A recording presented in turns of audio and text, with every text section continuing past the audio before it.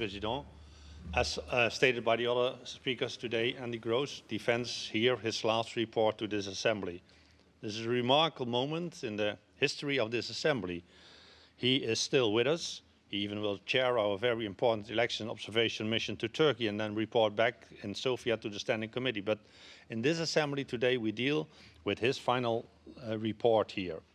Somewhat cynically, we call this our progress report, but Andreas will be amongst the first to state that not much progress has been made in recent times. We are, in a certain respect, even not moving forward but backward. And I know how much this makes our rapporteur worry.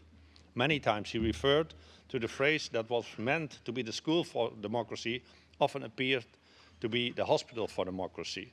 For example, after years of progress in electoral processes in our member states, we now observe backward developments.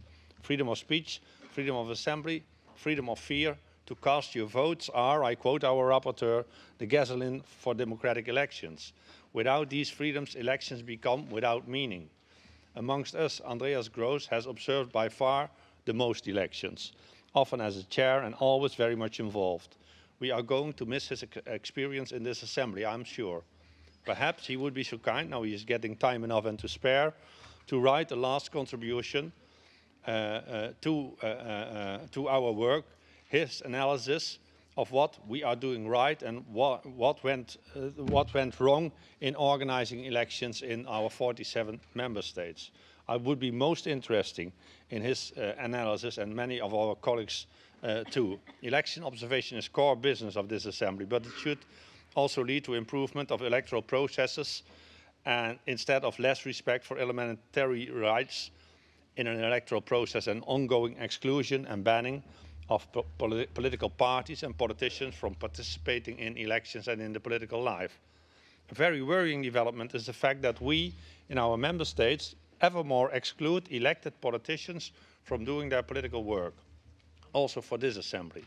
A growing number of countries consider it ap appropriate to refuse certain members of the assembly to participate in election observation missions or in our committee meetings outside Strasbourg and Paris. Sometimes parliaments do not allow their own members to participate in these activities. And some other countries do not allow our members in. Ukraine, Georgia, Azerbaijan, to mention a few. Furthermore, we see countries creating so-called blacklists with politicians, journalists, human rights activists and other people, prohibiting these blacklisted people to enter their countries. Russia is known for it. Ukraine just published a list of 400 blacklisted people and the member states of the European Union have made a long list of politicians from the Russian Federation and Ukraine who are not allowed in. Mr. President, if we do not allow parliamentarians to meet, to talk and to decide together, we are on the wrong track in Europe. On top of this all, this Assembly has, has excluded, for good or bad reasons, the delegation of our biggest member states to participate on equal footing in the work of this Assembly, after which that member state decided not to allow elected members of parliament to participate in whatever part of our work in uh, Russia. As said, whatever reasons might have been behind this exclusion, in the end it does not make sense. All these excluding measures make us politicians in the end lame ducks.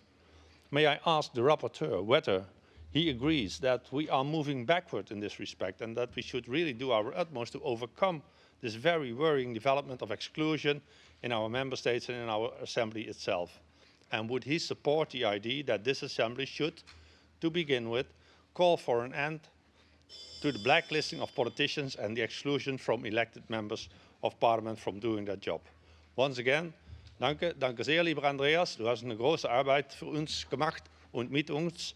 On behalf of the United uh, European Left, we thank you a lot. We wish you well and we will miss you. Thank you very much.